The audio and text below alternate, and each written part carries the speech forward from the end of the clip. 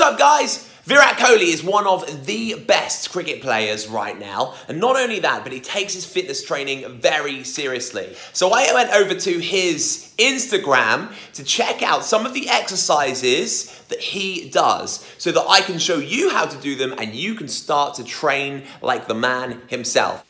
So for his cardio training, he does a lot of sprints.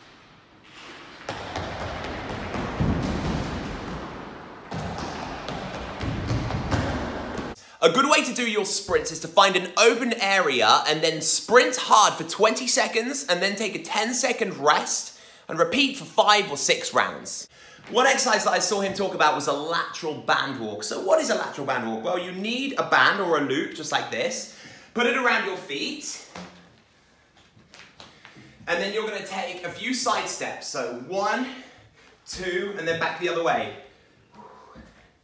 And this exercise is really good for activating your glutes. Okay, so he showed this really brilliant core conditioning exercise. So, you're gonna need a bar, hang off of the bar, and then bring the knees all the way up to the hips. Super controlled.